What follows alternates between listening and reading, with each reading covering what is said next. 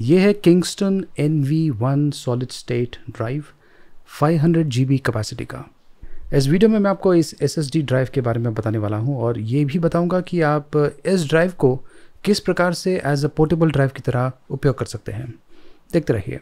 तो ये है किंगस्टन एन वी वन ये एक सॉलिड स्टेट ड्राइव है। 500 हंड्रेड जी बी कैपेसिटी का है। वैसे ये अलग अलग कैपेसिटीज़ में अवेलेबल है। One T B two T B capacities में भी अवेलेबल है। अकॉर्डिंगली जो प्राइसिंग है, वो चेंज हो जाता है। अब ये जो सॉलिड स्टेट ड्राइव है, आमतौर पर आज की तारीख में बहुत यूज़ होता है। और ये 35 X thirty five times faster है, अगर हम ट्रेडिशनल हार्ड ड्राइव्स के साथ में कंपैरिजन करें तो। आज की तारीख में जो पुराने टाइप के HDD है, उसका हार्डली उपयोग होता है। तो ये बहुत ही इंपॉर्टेंट है। और आमतौर पे ये जो एस है, इसे आप डायरेक्टली आपका जो डेस्कटॉप है या फिर जो लैपटॉप है, उसके अंदर इंस्टॉल करते हैं। क्योंकि देख सकते हैं कि ये एक तरह से चिप जैसा लगता है। ये लीजिए, मैं इसे निकाल देता हूँ और, ये देखिए, इस प्रकार का दिखता है ये। ये है किंगस्टन एन वी वन अब ये जो एसएसडी है, इसे मैं डायरेक्टली मेरा जो लैपटॉप या फिर जो डेस्कटॉप है, उसमें कनेक्ट नहीं करने वाला हूँ, बल्कि मैं इस प्रकार के एनक्लोजर का उपयोग करने वाला हूँ। अब ये जो एनक्लोजर है ये बेसिकली इसके लिए बना हुआ है। मतलब कि अगर आप इसे इसमें डाल देंगे तो आप ये जो एसएसडी है, इसे एज अ पोर्टेबल ड्राइव की तरह भी यूज़ कर पाएँगे। ऑफकोर्स जो स्पीड है फुल स्पीड तो आपको नहीं मिलने वाला है, क्योंकि ये जो इनक्लोजर है, ये U S B three point two है तो लिमिटेड स्पीड है, लेकिन अगर आप ये जो एसएसडी है, इसे डायरेक्टली लैपटॉप या फिर जो डेस्कटॉप है, उसमें जो स्लॉट है एस एस स्लॉट उसमें अगर आप डालेंगे तो आपको हायर स्पीड मिलने वाला है। तो चलिए, फ़िलहाल मैं ये जो इनक्लोजर है, इसके अंदर ये जो एसएसडी है, ये डाल देता हूँ और फिर इसका जो स्पीड है, वो चेक करते हैं। तो ये देखिए, ये जो इनक्लोजर है, इसे मैंने निकाल दिया है और ये जो एसएसडी है, इसे मैं इसमें डालता हूँ। तो उसे डालने के लिए यहाँ पर ये स्लॉट दिया हुआ है। आपको यहाँ पर इस प्रकार से इसे डालना है और ये देखिए पुश करना है। उसके बाद में यहाँ पर आपको एक स्क्रू लगाना है। तो ये देखिए, ये है वो स्क्रू और इसे टाइट करना है ताकि जो चिप है, वो अंदर हिले नहीं। तो ये लीजिए, ये इंस्टॉल हो चुका है। इनफैक्ट अगर आप ये एसएसडी को आपके लैपटॉप या फिर डेस्कटॉप में कनेक्ट करते हैं तो इसी प्रकार का सेटअप होगा उसमें।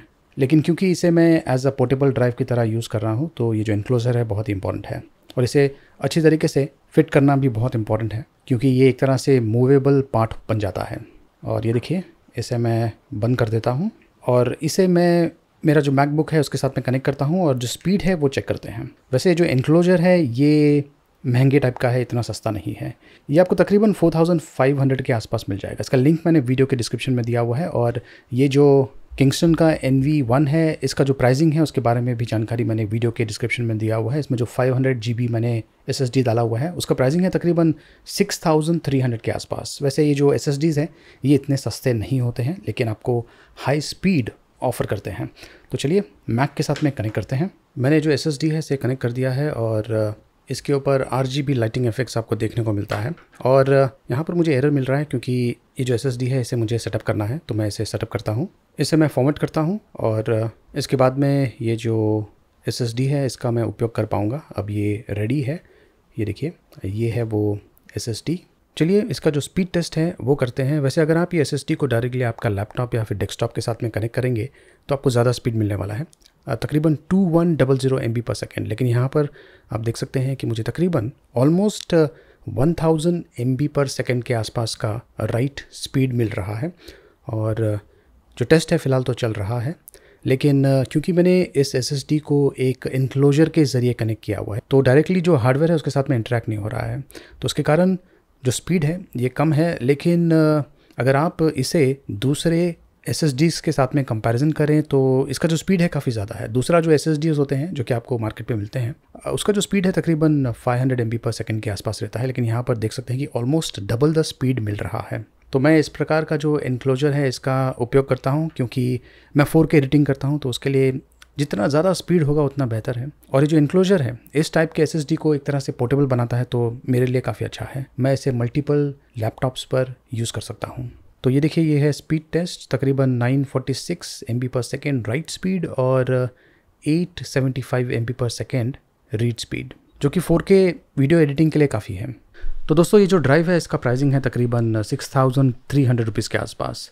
अब जितना ज़्यादा कैपेसिटी होगा अकॉर्डिंगली जो प्राइस है, वो चेंज होने वाला है। जहाँ से आप इसे खरीद सकते हैं, उसका लिंक मैंने वीडियो के डिस्क्रिप्शन में दिया हुआ है। इस वीडियो को लाइक ज़रूर कीजिए और, देखते रहिए।